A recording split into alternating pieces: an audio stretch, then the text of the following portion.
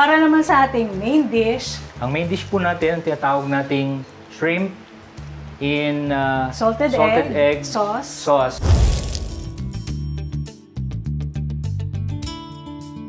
Po ang ating ingredients. Unang-una po, meron tayong uh, oil, meron tayong butter, meron tayong uh, garlic, onion, tapos ay especially po, ay meron tayong shrimp. Yan yung bida, yung shrimp eh, no? kailangan din ng Ah, okay. milk, full cream milk. Pwede siyang full cream milk or as simple as evaporated milk. Mm. Tsaka yung salted egg, yun po yung gagamitin pampasarap ng ating dish. Pag narinig mo yung salted egg, ano bang unang pumapasok sa isip mo? Dati kasi pag naririnig ko yung salted egg, parang ah, pang bibingka, pang topping sa bibingka. O kaya eh, nilalagyan lang ng kamatis, inuulam na. Bihira sa Pilipinas na ginagawang sauce yung salted egg. So magpe-prepare na po tayo. Actually, ano lang po ito eh. Ah, gisa-gisa. Gigisa lang natin siya.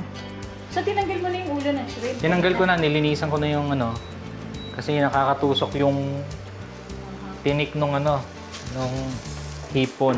Okay, so siguro pwede na tayong mag-start mag-saute. So umpisahan natin with butter. Ano po? Lagyan natin ng butter. Ayan. Tapos lagyan natin ng konting... Ba't natin nalagyan ng oil? Nalagyan natin ng oil para wag masunog yung butter. Okay. Meron pala akong tip, mga kapatid, para sa inyo. Kapag uh, magigisa tayo with butter, pwede nyo na agad siyang lagyan ng garlic. Garlic. Kasi normally, di ba, pag magigisa tayo with oil, ay, initin muna natin yung oil, saka natin ilagay yung garlic. Pero with butter, lagyan na natin yung garlic agad. Kasi para yung flavor ng garlic, mag-incorporate siya sa butter. Tapos kapag na-incorporated na siya, mas malasa. Mas yung garlic, mas malalasahan mo. Ayan. So, pwede natin Namin na natin, bango. Bango, no? Mm, onion. Lagyan natin yung onion. Favorite ko to eh. Kailan ba natin na sinasabing, ah, pwede nang ilagay yung next after onion?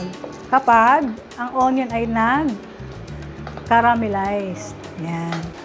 Ngayon, yung mga, meron na bang mga family, mga kasama tayo sa bahay na medyo allergic sa shrimp, pwede po din nating palit, ano, instead na shrimp ang gagamitin natin, pwede tayong gumamit ng fish, yung mga fillet, fish fillet, yung mga nabibili niyan, o kaya pwede rin chicken. Pwede rin, no? mm I, i-chop lang natin ng bite size yung chicken, alternative din po sa sauce na Oh, pero mas maganda ko yung chicken, next time, pag magluluto tayo, iyan mo siya i-fry para crispy chicken. Ah. Ah. Pero ngayon ito nga, shrimp tayo. So, gisa-gisa lang po ito. Ayan. Ayan, medyo nagka-caramelize na. Favorite mo ba yung shrimp? Oo, masarap yan. Hindi, ako may favorite niya. Masarap yan. favorite ko. Pero pag nandyan na, parang mas favorite mo.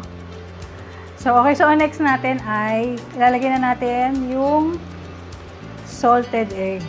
Ito pong ah, dish na ito ay ang kinakailangan lang ay yung egg yolk. So, yolk lang po siya. So, anong gagawin mo doon sa egg white? Yung egg white po na tin- tinabi natin, pwede po nating gawing pang toppings. Slice po natin siya. Pagka i-serve natin, lagay natin sa ibabaw. Garnish, Pwede- pang garnish. O, pwede rin nating gamitin sa side dish natin. Pwede nating ah, gawing salted egg na side dish lang. Titimplahan Marami siya, natin. eh? So, wala siyang sayang. So, para siyang madudurog lang. Parang magta-turn siya into sauce. Ha? Mm. Actually, ito na yun eh. Hindi mo na kailangan maglagay ng salt and pepper. Kasi sa salted egg, ayun na eh, salted. Maalat na siya. So, pag tingin nyo, pwede na. Lalagyan na natin yung ah, ating milk. Full cream milk po yung ginagamit natin kasi ang tendency ng mga non-fat milk maglalagay ng asukal o kaya maglalagay ng iba para medyo magkalasa. Kaya sa, sa tingin po namin, mas maganda yung full cream milk na. Mas healthy siya. Ah, mas healthy, Mas mas sabihin mong non-fat? Oo, oo, oo. Kasi sobrang tabang nung ano eh, nung non-fat. So, hintayin lang natin siya mag-simmer. Ha? Pag nag-simmer na siya, pwede na nating ilagay yung shrimp. Pag nilagay ng shrimp, after about a minute or two, basta nag-pink or nag-orange na yung shrimp, ito luto na. Mabilis lang. Pa- Huwag po natin i-overcook yung shrimp. Kasi kapag ka nasobrahan sa luto, tumitigas. Yun po ang sekreto ng So, parang hipon. sa squid din, ano? Mm. Din. Tapos, ang pinakamasarap po na klase ng hipon, kasi maraming klaseng hipon eh. Ang kinukuha po namin yung suwahe. Ah, malinamnam po yung lasa niya. Baka hindi niyo po na itatanong, si Ka Angel nga po pala ay mga awit at ako naman po ay Jacono. Ayan. So, nilagay na natin yung bida ng ating ah, ating main dish. Ayan. Medyo nagiging malapot siya dahil sa combination ng salted yung yolk tsaka yung ating milk. So, basically, pag kumulo lang siya ng konti, ayan, we're done. Tapos na yung ating salted, um, shrink in salted egg sauce. Ayan. Para nakakagutom na eh, no? Masarap siyang masarap sa kanin. So, lakasan natin ng konti. Luto na yun. Nag-orange na, pink na yung ating shrimp. So, okay na po.